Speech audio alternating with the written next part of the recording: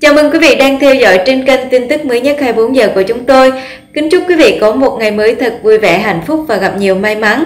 Và bây giờ, mời quý vị cùng theo dõi những bản tin mới nhất trên kênh của chúng tôi. Trước ngày lâm bồn, mẹ của Hồ Hà bất ngờ vạch trần con người thật của Kim Lý. Câu chuyện tình yêu của Hồ Hà và Kim Lý nhận được sự quan tâm ủng hộ của khán giả kể từ ngày công khai. Không chỉ người hâm mộ, hai bên gia đình cũng hân hoan và vui mừng, thậm chí phụ huynh còn di chuyển giữa hai nước để gặp gỡ kết thân với nhau. Sau một thời gian ngắn yêu nhau, bạn trai của nữ ca sĩ giống như một thành viên trong gia đình cô. Kim Lý thường xuyên xuất hiện ở căn biệt thự, mỗi dịp đi chơi, du lịch với người thân thì anh cũng luôn có mặt. Thông qua các khung hình, khán giả thấy rõ anh và ba mẹ Hồ Hà, Subel dường như không có khoảng cách.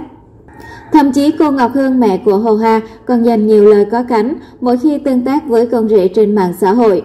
Từ khi biết thông thạo tiếng Việt thì nam diễn viên cũng xưng hô bằng mẹ khá thân mật. Mới đây phụ huynh còn tâm sự với Việt Nam Net khi được hỏi về Kim Lý. Tôi rất quý trọng điều đó, Kim Lý đơn giản, thật thà, chất phát và thẳng thắn. Kim Lý tiểu thương chịu khó làm ăn. Đặc biệt là yêu thương con gái của tôi. Tôi nghĩ điều đó là đủ với Hồ Hà. Tình cảm của cặp đôi ngày một tốt hơn cũng nhờ vào sự ủng hộ của ba mẹ hai bên.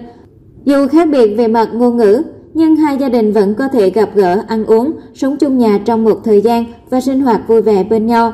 Mẹ của Hồ Hà cho biết phụ huynh Kim Lý là người đức độ có trình độ.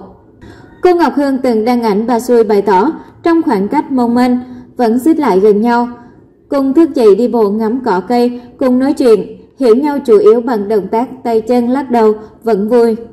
Đến hiện tại, cả nhà và khán giả đang cùng Hồ Hà Kim Lý mong chờ thành viên mới chào đời. Hy vọng rằng gia đình nhân vật chính sẽ có những buổi tiệc hay lời thông báo cụ thể tin vui đến người hâm mộ.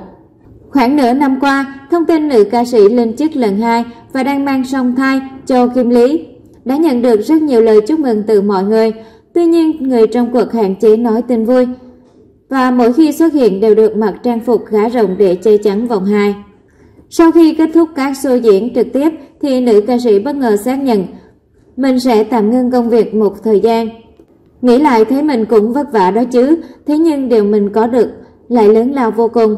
Từ tình cảm của anh chị em trong nghề từ ekip, báo đài và đặc biệt là khán giả.